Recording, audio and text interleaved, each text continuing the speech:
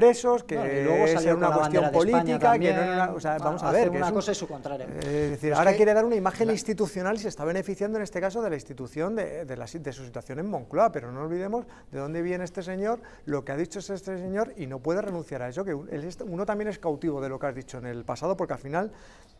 yo creo que es lo que piensa. Otra cosa que a día de hoy esté disfrazado porque le va bien y es lo que le están recomendando. Pero no nos equivoquemos que el papel, el disfraz lo está teniendo en estos momentos. Pedro Sánchez es aquel que dijo en su día que había que soltar a los presos catalanes porque estábamos ante una eh, situación política, que no era una cuestión penal como la estaba llevando el Partido Popular.